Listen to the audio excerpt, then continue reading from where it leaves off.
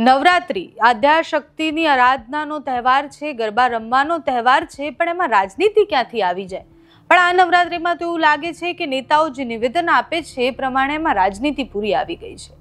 હર્ષ સંઘવી જ્યારે એવું કહે છે કે મોડી રાત સુધી ગરબા રમવાના છે, એના પછી જાહેરનામામાં કંઈક અલગ વાત હોય છે અને હવે વિપક્ષ એ વાત પર તૂટી પડ્યા છે. જોકે હર્ષ સંઘવીએ ગઈકાલે સ્ટેજ પરથી એવું કહ્યું હતું કે મારા એલાન પછી, મોડી રાતના ગરબા રમવાના એલાન પછી ઘણા બધા લોકોના પેટમાં દુખે છે.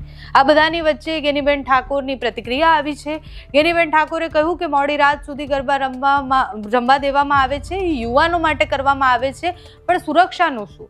જ્યાં છ વર્ષની દીકરી પણ સુરક્ષિત નથી, ત્યાં દસ દિવસની સુરક્ષા કાયદા વ્યવસ્થાનું શું કરવાનું છે?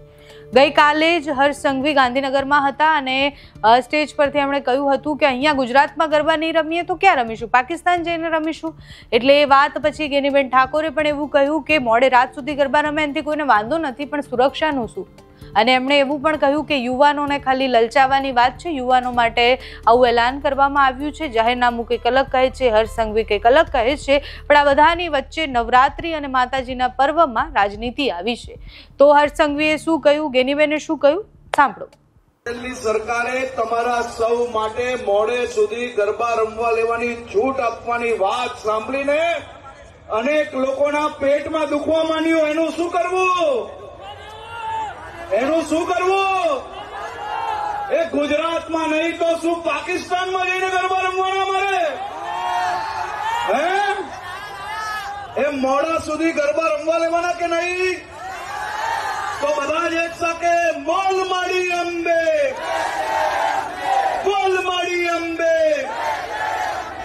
ગયા વર્ષે બી મોડે સુધી ગઈકાલે અ, મેં એક અ, ગૃહ વિભાગ હોય કે અન્યને એક ગુજરાતની બેન દીકરીઓની સલામતી માટેની વાત મીડિયા સમક્ષ કહી કે જ્યારે સમગ્ર ગુજરાતમાં કાયદો અને વ્યવસ્થા કથલેલું હોય, ચોવીસ કલાકની અંદર પાંચ પાંચ ઘટનાઓ મહિલાઓની યૌન શોષણ છેડતી અને બળાત્કારની ઘટનાઓ બનતી હોય, એવા સંજોગોમાં ખેલૈયાઓ આસ્થા સાથે રમે, નવરાત્રિનો તહેવાર ઉજવે, એમાં કોઈ વાંધો ન હોઈ શકે. પણ એક રાજ્યના જવાબદાર એક ગૃહમંત્રી એવું કહે કે અહીં નહીં રમે તો ક્યાં પાકિસ્તાનમાં રમશે? એટલે વાત કાયદો ને વ્યવસ્થાની છે કે તમારી તાકાત તો છે ને કાયદો વ્યવસ્થા જાળવવા માટેની બેન દીકરીઓને સુરક્ષિત રાખવાની.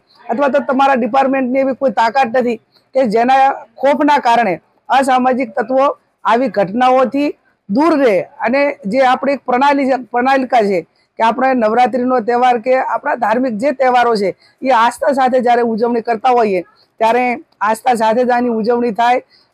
તમામ વડીલોને અને માતા પિતાઓને પણ મારી વિનંતી છે કે આપણી કોઈ પણ બેન દીકરી હોય, મહિલા હોય, તો સમયસર નવરાત્રિના સમયે એ ઘર પાછી આવે અને શક્ય હોય તો એને એકલી નહીં, પણ એના પરિવાર સાથે ગરબા રમવા જાય. જેથી કરીને જે ઘટનાઓ વારંવાર બને છે, એ ઘટનાઓમાં ક્યાંક ને ક્યાંક આપણે ખાળી શકીએ અને આપણી બેન દીકરીને અસામાજિક તત્વોથી સુરક્ષિત રાખી શકીએ. એ પણ આજે આ નવરાત્રિના નિમિત્તે બધાને હું વિનંતી કરું છું.